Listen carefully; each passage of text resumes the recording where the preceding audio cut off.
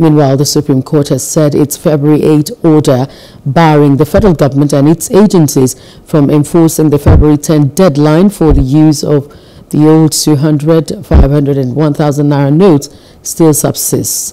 The court made the clarification following a complaint by a lawyer to Kaduna, Kogi and Zamfara states, Abdulhakeem Mustapha, a senior advocate of Nigeria, that the federal government and its agencies have failed to comply with the order and have allegedly directed the rejection of the old notes.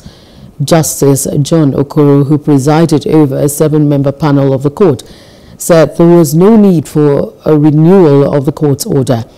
He noted that since the order made by the court on February 8 was made pending the determination of the motion for injunctions filed by the plaintiff, the order still subsists since the motion was not yet heard.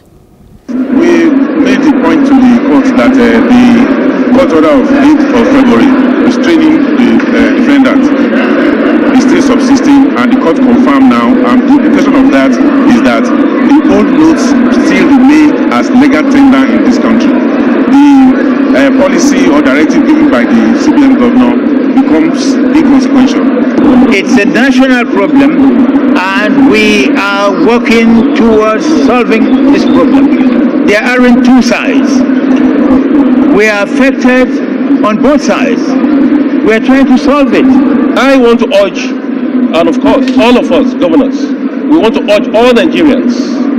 Yes, we are all suffering, but let's stay alive. Let's maintain peace, law, and order. If we kill ourselves, others will remain there to enjoy your money. It is just a temporary setback for us in this country. We are not condemning this particular policy of President Muhammad Buhari. It is going to be the way to go, but the implementation, that is what we are questioning.